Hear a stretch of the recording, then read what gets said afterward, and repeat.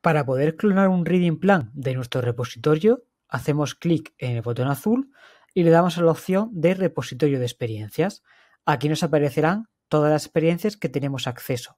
Si queremos filtrar los resultados, hacemos clic en la opción de filtrar y podemos poner el nombre de la experiencia, en el caso de que lo conozcamos, si es un club verificado o no, el nombre de autor, la fecha de creación o la edad. Simplemente para aplicar un filtro, por ejemplo, el de la edad, escribimos el número y vemos todos los planes lectores que hacen referencia a esa edad.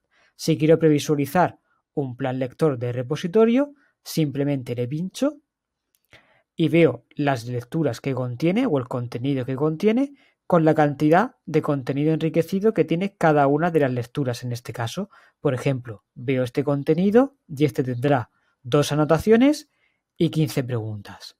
Si quiero clonarlo, simplemente le doy la opción de clonar y se me carga esta ficha. Aquí le pondría un nombre a ese plan lector, por ejemplo, plan lector inicial. La descripción se me clona la que tenía originalmente, pero le puedo poner la mía propia, plan lector para niños de 15 años. Aquí elijo la visibilidad. Si es privada, yo podré invitar a los alumnos que quiero que formen parte del plan lector y si es pública, cualquier estudiante de mi escuela podrá acceder. En esta ocasión voy a poner privada. Aquí activaría el chat, que es un medio de comunicación como cualquier otro, y aquí activo la actividad de cuento que le hemos explicado en otros vídeos.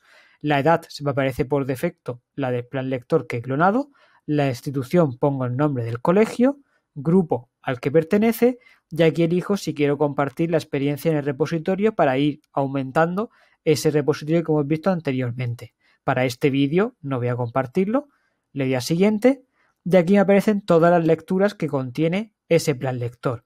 Si hago clic en este símbolo de la fecha, puedo elegir una nueva fecha de inicio para esa lectura.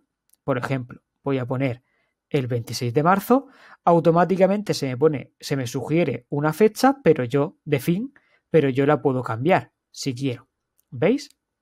En esta casilla elijo si también quiero incluir el contenido enriquecido. Si no la marco, no se me clonará ninguna de las actividades. Si la marco, se me clonarán todas pero si le doy a la flechita hasta para arriba, puedo desmarcar aquello que no me interese clonar. Desde este vídeo también os quiero recomendar que en un principio lo mejor es clonarlo todo. Una vez que haya modificado las fechas de inicio y de fin de cada una de las lecturas para que cuadre con mi programación, le daría siguiente. Aquí elijo que se clonen también los ejercicios, le doy a clonar. Tardará un poquito en clonarse. Y ya está ya tengo mi plan clonado.